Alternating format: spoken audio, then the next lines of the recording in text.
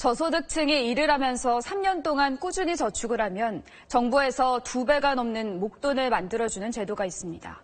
이 제도를 통해 어엿한 청소업체 사장이 된 경우도 있는데 내일부터 전국에서 신규 가입자 모집이 시작됩니다. 유덕기 기자가 보도합니다.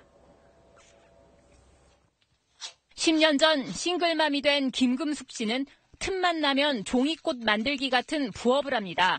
벌이가 30만 원 남짓할 때부터 이를 악물고 매달 10만 원씩 저축했습니다. 10만 원 정도가 좀 3분의 1 정도 차지한 것 같아요. 일도 좀 더 하고 힘도 나고 용기도 생기고. 김 씨는 많게는 세 가지 부업을 하며 정부가 생계 의료비를 대주는 지원 대상에서도 벗어날 수 있었습니다. 무엇보다 기쁜 건 3년 동안 꼬박 저축하자 국가에서 저금 액수의 두 배가 넘는 목돈을 지원해 준 겁니다. 50대 이숙자 씨는 자활 근로 일을 하면서 매달 10만 원씩 부었습니다.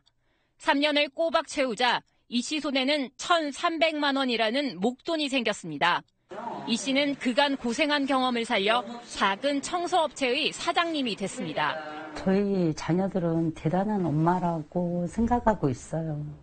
우리 엄마 대단해요. 그렇거든요. 7년 전 시작된 이 프로그램에 지난해 말까지 10만 명이 참여했습니다. 희망 키움 통장 참가자 10명 가운데 6명 넘게 생계 의료급여 수급자에서 벗어났습니다. 3만 1000가구를 선발하는 올해는 내일부터 신규 지원을 받습니다. SBS 유덕입니다.